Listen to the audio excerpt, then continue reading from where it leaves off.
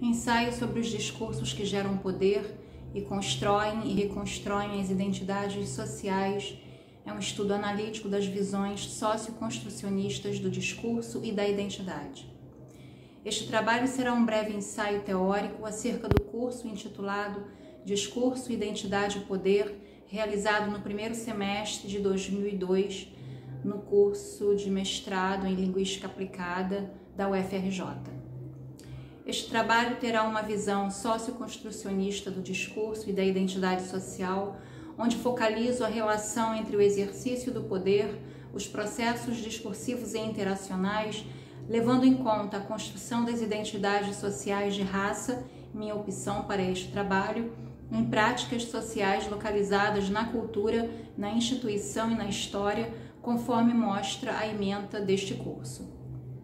Para tanto, o trabalho será dividido em sessões e subseções que abrangerão desde a situacionalidade sócio-histórica do discurso até as identidades sociais de raça, perpassando pela sociolinguística interacional e a análise do discurso crítica, a chamada ADC.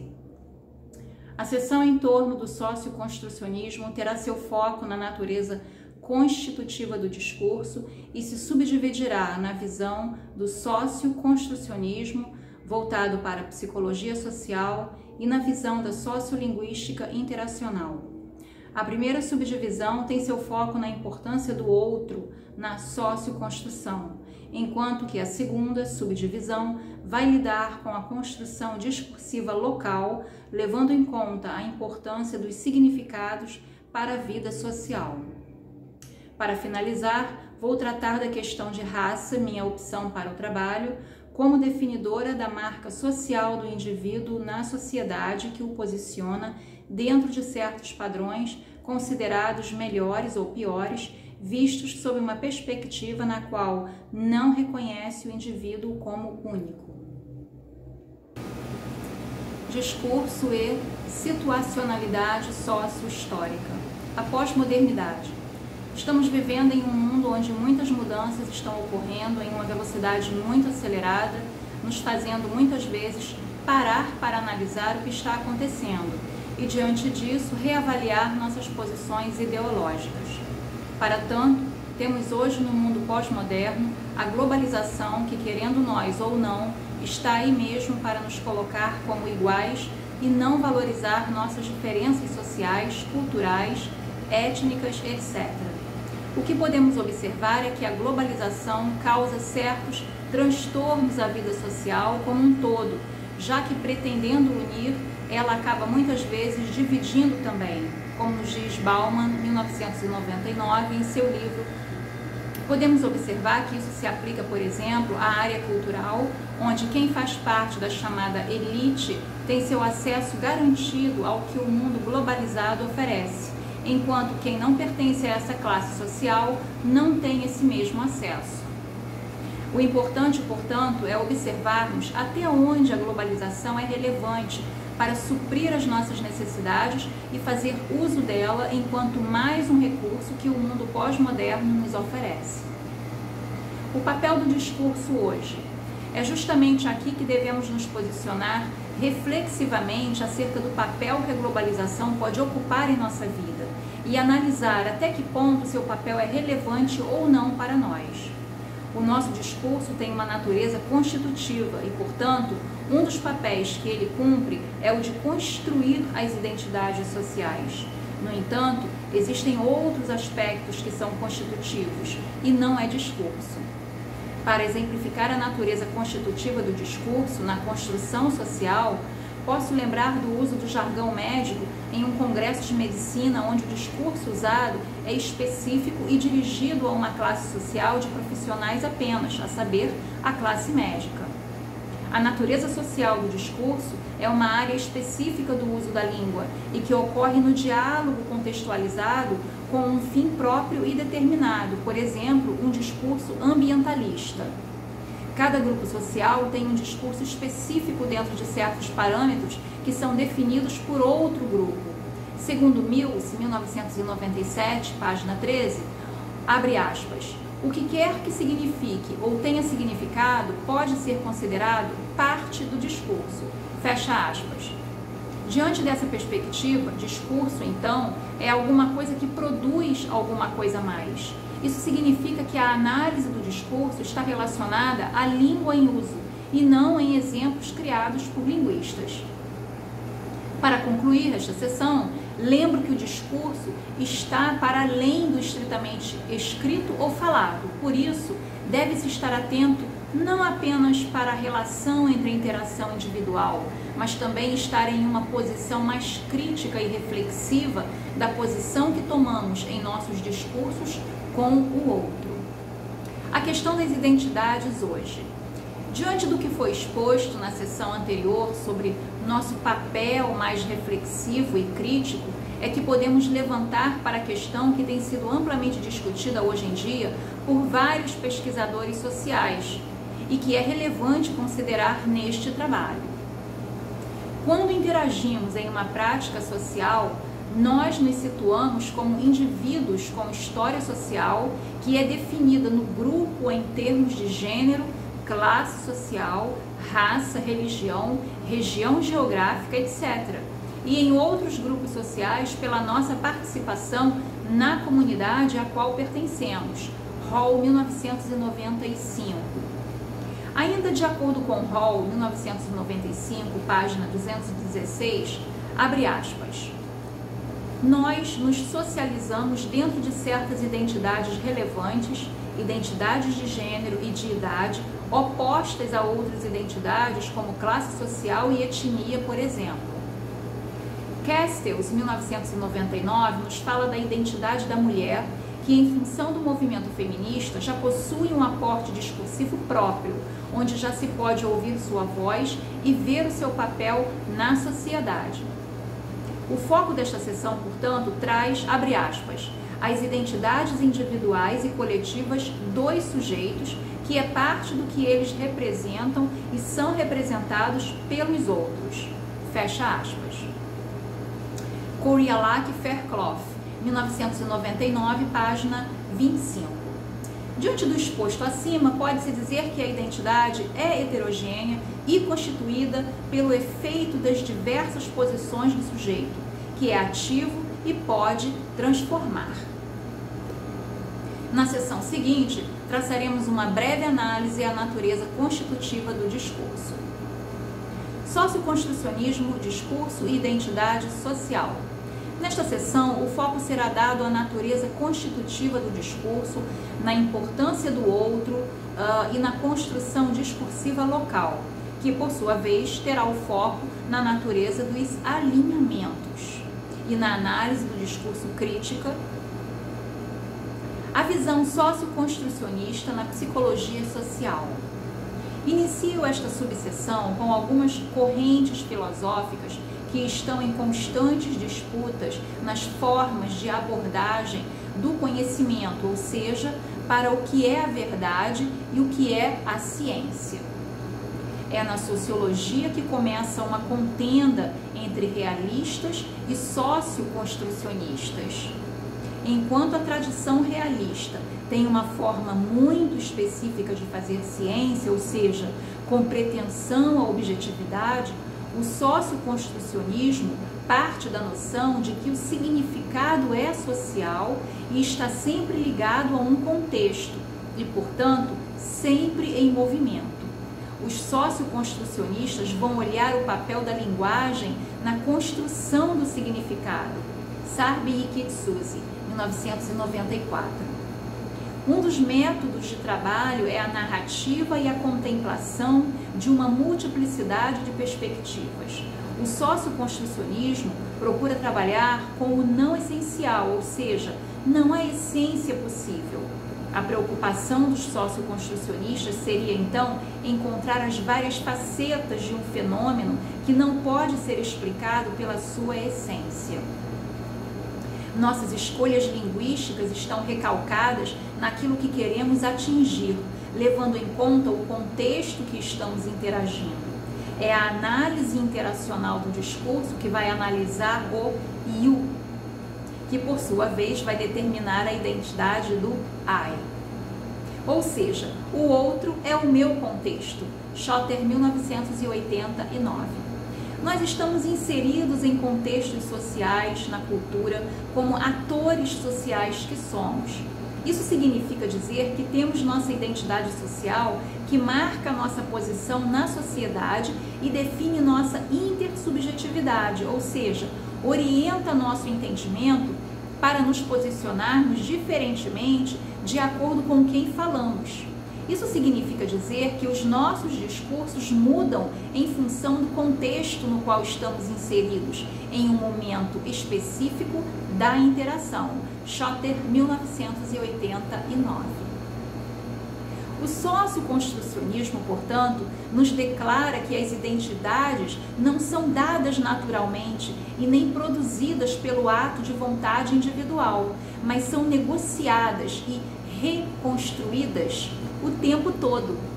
Daí não se poder fazer afirmações definitivas, porque qualquer afirmação que se faça deve ser situada no contexto sócio-histórico e seu significado depende e está ligado a este contexto. Sarben e Kitsusi, 1994, capítulo 7. A visão socioconstrucionista em estudos do discurso a sociolinguística interacional. O relato aqui será no sentido de falar das projeções interpretativas que nós colocamos no discurso, mostrando a construção discursiva que é local e os respectivos significados que representam para a vida social. Segundo Goffman, 1964, uh, 1998, uma situação completa de interação seria a de tornar ah, seria a tornar completo um confronto face a face com os ingredientes paralinguísticos ou não verbais, tais como tons de voz, gesticulação e significado facial. Por exemplo, isso auxiliaria em fornecer pistas para se construir sentido. O encontro social seria então caracterizado como um sistema integrado de atividades em funcionamento, onde tudo o que acontece contribui para sinalizar contexto da interação e ainda para a nossa interpretação do que está ocorrendo naquele dado momento específico. Lindstrom, 1992, nos coloca para a possibilidade de se uh, descreverem práticas discursivas e alterar práticas sociais já estabelecidas. A interação face a face é uma categoria descritiva na questão da análise da interação, da construção ao nível micro.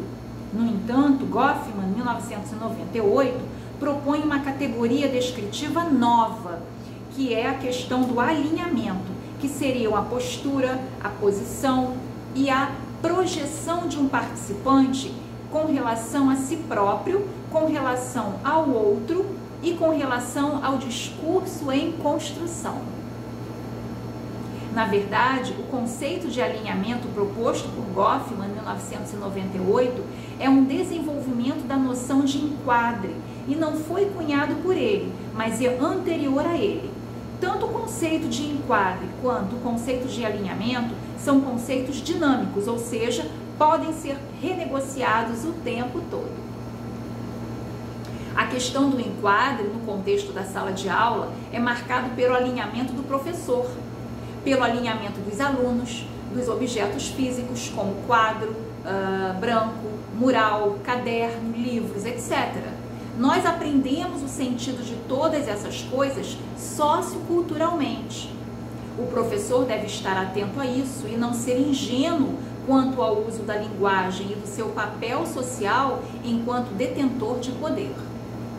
A questão do alinhamento, que foi a grande contribuição de Goffman em 1998, está na construção de sentido co-construído por falantes e ouvintes e para o dinamismo da interação em como as relações interpessoais são negociadas o tempo todo e mudam o tempo todo.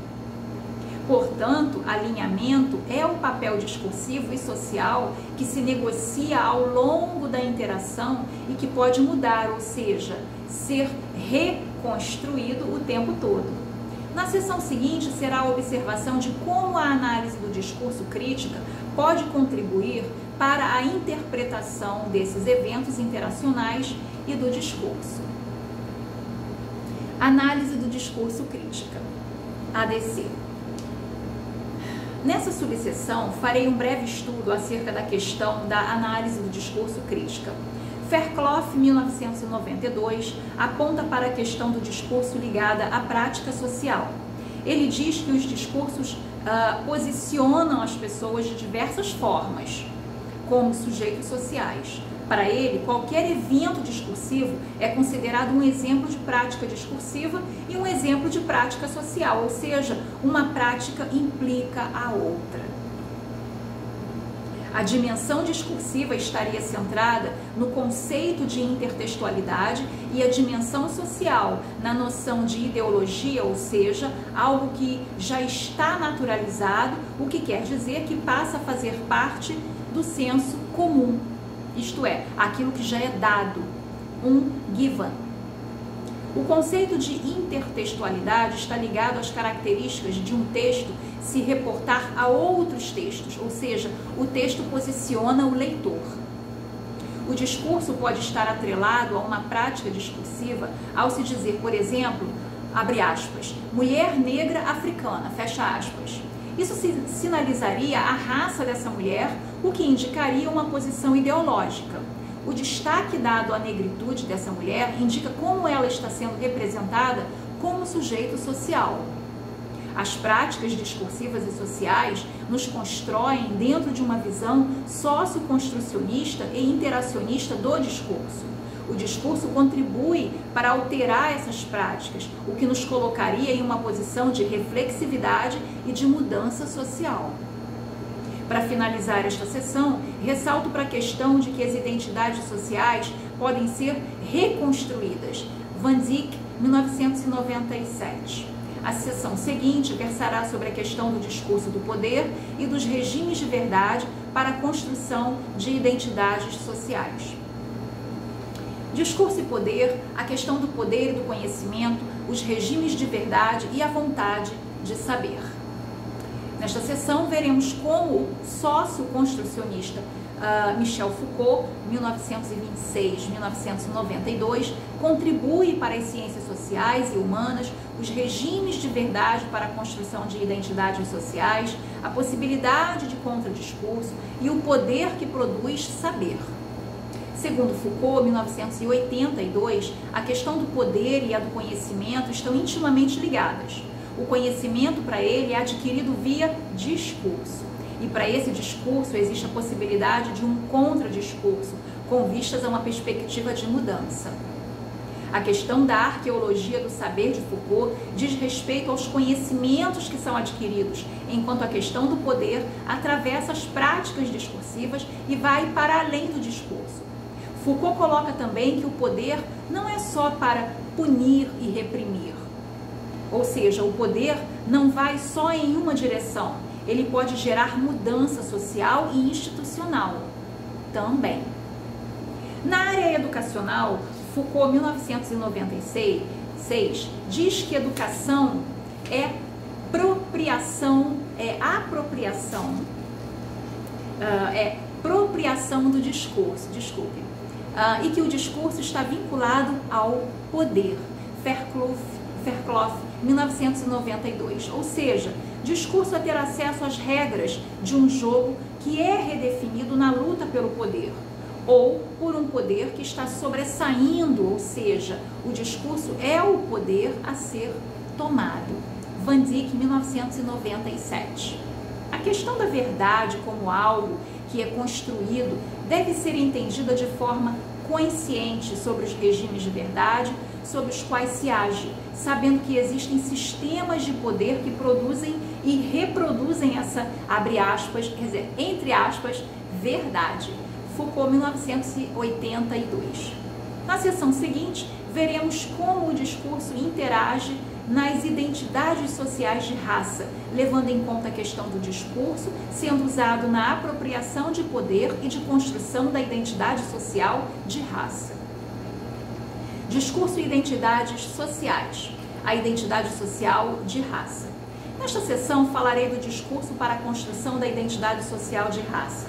Antes, porém, devemos é, entender que raça é algo que nos define principalmente pelo nosso tom de pele, pelo nosso tipo físico, tipo de cabelo, cor dos olhos, etc. Marcas que carregamos socio-historicamente. No entanto, nenhum desses dados relacionados ao nosso biotipo pode ser caracterizado como parte essencial de nossa posição como indivíduos sociais que somos, com identidade própria, nos classificando como melhores ou piores, ou ainda superiores ou inferiores. A questão que se coloca para a definição de raça está envolvida principalmente com estereótipo cultural, ou seja, definições sociopolíticas e não o fator biológico, produzindo assim um efeito discriminatório. Sarbin e Kitsusi, 1994. O discurso do, entre aspas, self é sócio-construído. Isso significa dizer que o sujeito social é um indivíduo com características próprias a ele. Parker, 1989. A diferença é respeitada quando, abre aspas, o self é construído como sujeito e objeto do discurso em um momento histórico particular. Fecha aspas. Parker, 1989, página 63. Agora chegamos às considerações finais desse trabalho. Vamos a elas. Concluindo, é importante observar como o nosso discurso tem sido construído na identidade nacional de raça, ou seja, se estamos levando em conta aspectos político-sociais ou se aspectos biológicos e se usamos a linguagem de forma consciente e reflexiva. Isso se torna relevante quando esta é uma preocupação do socioconstrucionismo em usar o discurso, propondo mudanças para a reconstrução das identidades que são fragmentadas. Moita Lopes, 2002. E as referências bibliográficas desse trabalho, desse breve trabalho, citamos Bauman, uh, 1999, uh, Fairclough, 1992, Foucault, 1982, uh, Goffman, 1998, Hall, uh, 1995, Moita Lopes, 2002, Sarbin e Kitsus, 1994, Fandic, 1997, dentre outros. Espero que tenham apreciado esse breve trabalho. Bye bye.